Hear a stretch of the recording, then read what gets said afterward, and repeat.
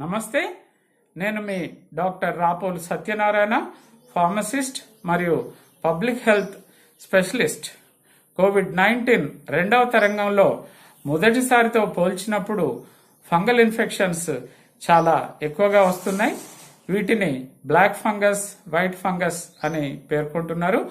Black ఫంగస్లో mucormycosis Aspergillus వంటివి ఉన్నాయి. ఇవి చాలా మొండి ఇన్ఫెక్షన్స్ ముక్కు నోరు కన్ను ఊపిరితిత్తులు ప్రేవులు మెదడు ఈ భాగాలకు ఈ ఇన్ఫెక్షన్స్ సోకుతున్నాయి.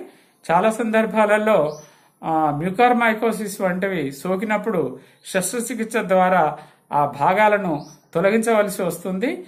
కన్నుకు వచ్చినప్పుడు కన్ను తొలగించవలసి వస్తుంది. కాబట్టి ముందు జాగ్రత్త చాలా మంచిది.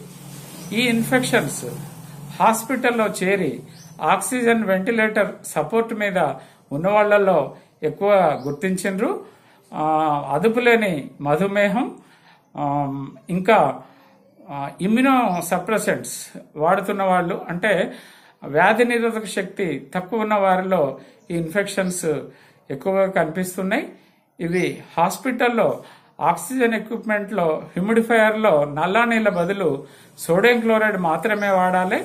ఫేస్ మాస్కులు తర్వాత ఆక్సిజన్ పైపుల చివరలు వీటన్నిటిని కూడా శుభ్రం చేసి సోడియం క్లోరైడ్ ద్రావణం లో ముంచి పెట్టినందువల్ల ఇన్ఫెక్షన్ మనం అరికట్టవచ్చు. పేషెంట్లకు ముందస్తుగా కొన్ని యాంటీఫంగల్ ఔషధాలు ఇచ్చినందువల్ల సత్ఫలితాలు ఉంటాయి ఒకసారి ఇన్ఫెక్షన్ వచ్చింది అని అంటే కొన్ని ఔషధాలు మాత్రమే పనిచేస్తున్నాయి. Amphotericin B liposomal amphotericin B posaconazole isavuconazole ఇవి మాత్రమే పనిచేస్తున్నాయి. అవి కూడా ఒకటి కంటే ఎక్కువ రకాలు.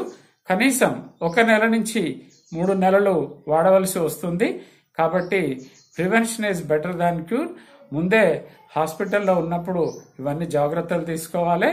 డిశ్చార్జ్ అయ్యే సమయంలో కొన్ని యాంటీఫంగల్ ఔషధాలు ఇచ్చినందువల్ల ప్రయోజనం ఉంటుంది. ఒకసారి సోకింది అని అంటే చాలా ఇబ్బంది ఉంటుంది. కాబట్టి prevention is better than cure thank you